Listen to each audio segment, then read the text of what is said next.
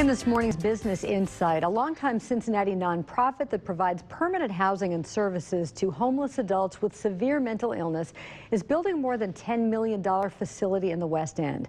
Tender Mercies was founded in 1985 by three clergymen working among the homeless in Over the Rhine. It currently serves 150 adults. In August, the organization started construction on 821 flats on Ezzard Charles Drive, which will be home to 57 affordable homes and is being co-developed with Over the Rhine Community Housing. Russell Winters is CEO of Tender Mercies. He joins Business Watch producer Kelly Leon in the studio. Russell and Kelly.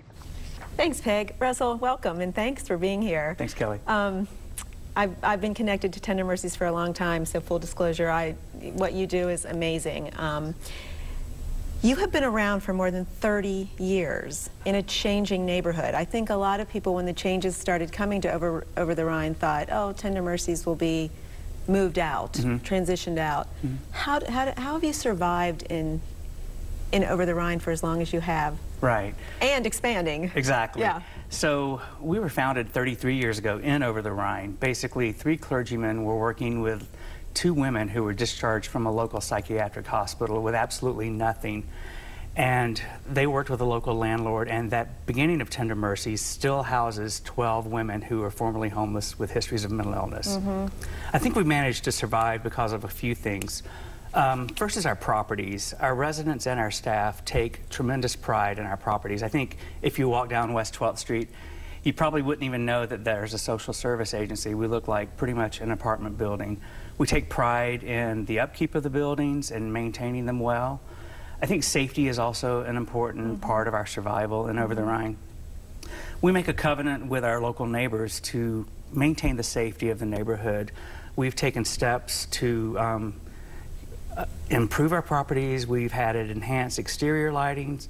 We've also gated off two alleys that were notorious for illicit activity yeah. as well. I think the third thing that has helped our survival is communication. We maintain open communication with the Cincinnati police, our neighbors, and we also are working constantly to educate our neighbors about homelessness and mental illness and educate them about the supportive services that we provide that help um, address the root causes of homelessness. Mm -hmm. And I think it's important to note that Tender Mercies provides permanent housing.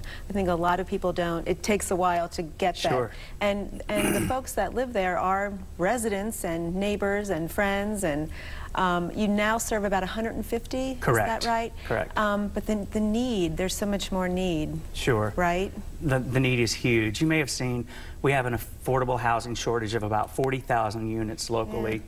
And a person earning minimum wage in Ohio has to work about 74 hours a week just to afford a decent two-bedroom apartment. In Hamilton County, about 8,000 people experience homelessness every year and 30% of them report some, some symptoms of mental illness. So the need is huge and it's constant. Um, despite the um, surviving, the thriving economy, many people are still one paycheck or one catastrophe away from life on the streets. Right. And when you end up on the streets, mental health treatment, medical care, all those things are difficult to access, much less getting to and from a job. Yeah, and providing permanent housing in the long run is so much cheaper and be obviously better for the individual than, than going to jail, which is where a lot of folks end up, right? Absolutely. If you look at how cost effective we are, um, hospital, jail, so much more expensive than yeah. permanent supportive housing. Yeah.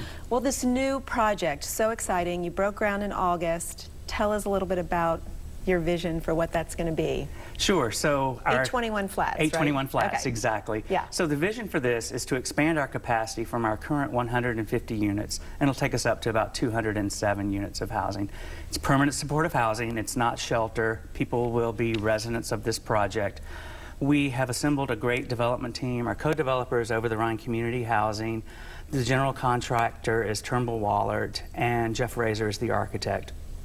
We broke ground end of August. It's going to take about 12 months to construct. By the end of next summer, 57 additional men and women will be provided a permanent home. That's fantastic. Congratulations. Good luck with the project. Come back and tell us about it when it's all done. Great. Thanks, Thanks Kelly. so much, Russell.